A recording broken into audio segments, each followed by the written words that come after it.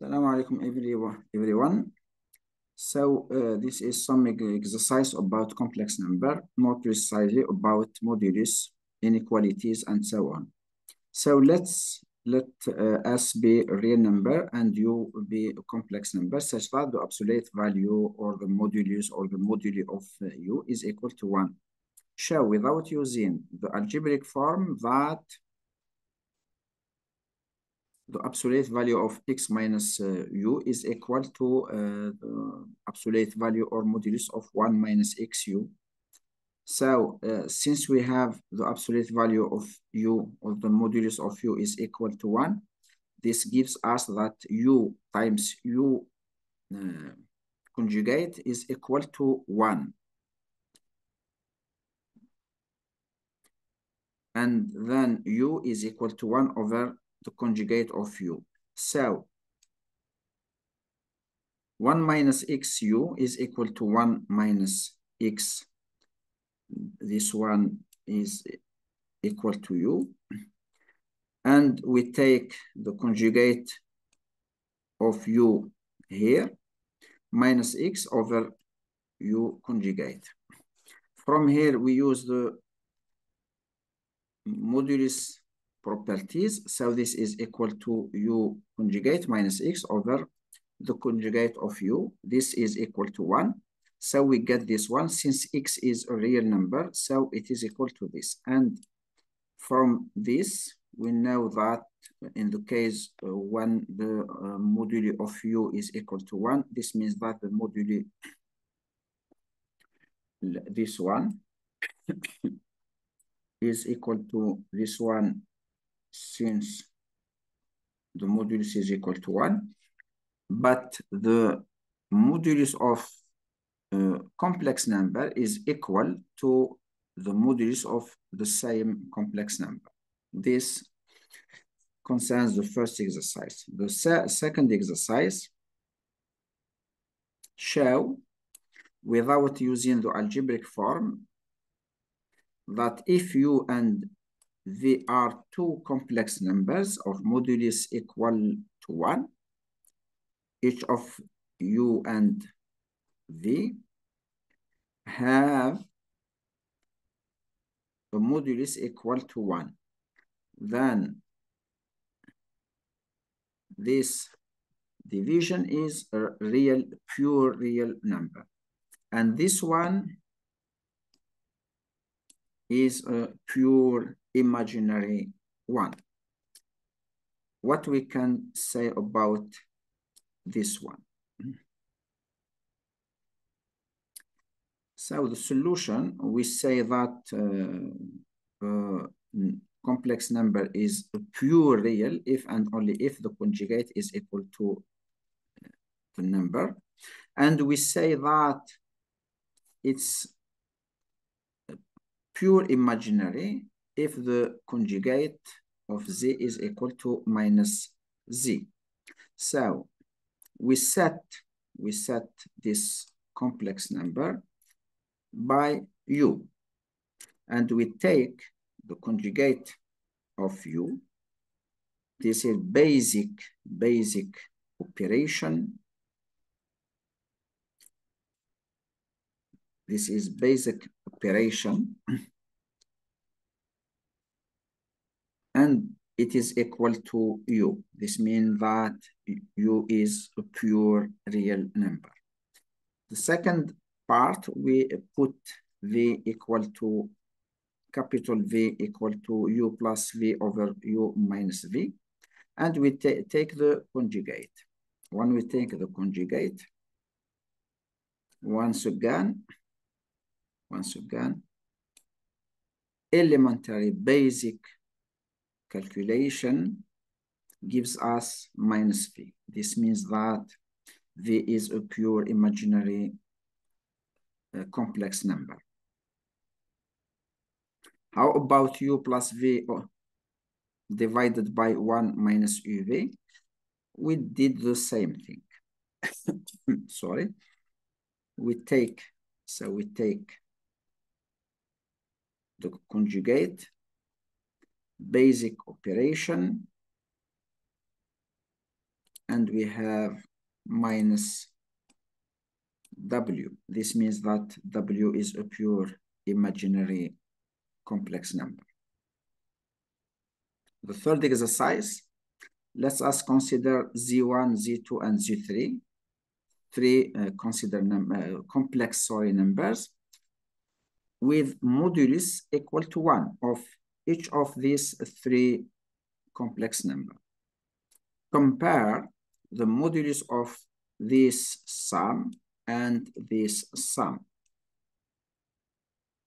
What we can do, so we can take the modulus of this one and we take the square.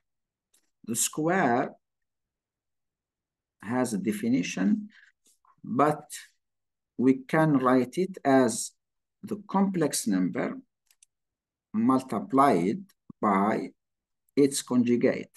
If we consider here the conjugate of all this, so they are the sum of the conjugate.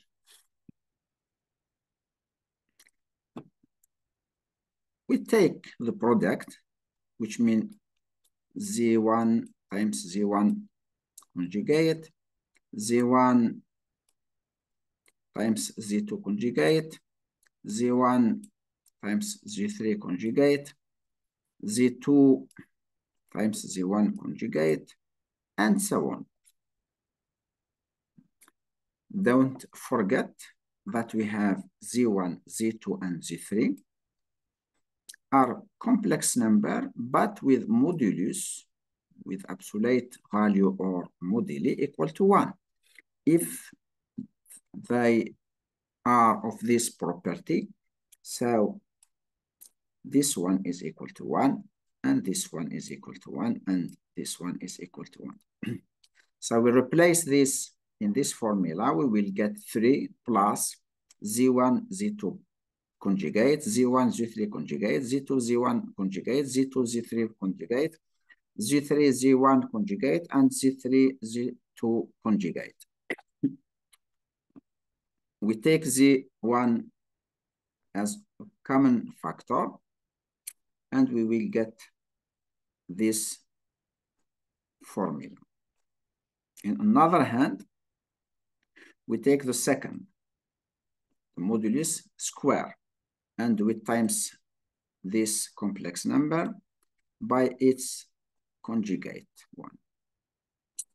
And we have here hard work. I am just joking. Two times this one by this one and so on. Don't forget that Z1, Z1 conjugate and Z2, Z2 conjugate, Z3, Z3 conjugate are equal to one. So it gives us this one. Take your time to verify. This means that they are equal and we finish by saying that this one and this one have the same modulus. The last uh, exercise for today, I think that is, uh, no, before the last one, show that for every complex number of modulus equal to one, we can write it as this form. So we take any given complex number, our condition is to have a modulus equal to one, and we can write it like this. What we can do, we can take complex number with modulus equal to one. Euler formula permits us to write it like this. But here we, uh, we uh, put phi different of k pi to uh, eliminate the case when z is equal to 1. So in this case, z is equal to the exponential of a phi which is equal to exponential e phi over 2 over exponential minus e phi over 2. We can, this, this, this number, complex number, is exactly this one. And there we develop Euler formula. We take cos phi over 2 common factor, and we will find this one if we take conjunct phi over 2 as x, we will get our desired formula. Very simple. Evaluate the modulus and the argument of z, which is like this. so first of all, we suppose that alpha is different of pi over 2 plus k pi. This is to uh, eliminate the case z equal to 1. Then we take, we write the definition of tangent alpha, which is sine alpha over cosine alpha. We take cosine here and here, and we take cosine as a factor. But this one can be written, 1 over this one can be written cos alpha minus e sine alpha. It is sufficient to uh, multiple it by its conjugate, and this is the conjugate of this one. This one with this one the product gives us one, and we retain this here. so here we have two cases. The argument is alpha, for instance, but the modulus is cosine alpha. If cosine alpha is negative, it cannot be the modulus.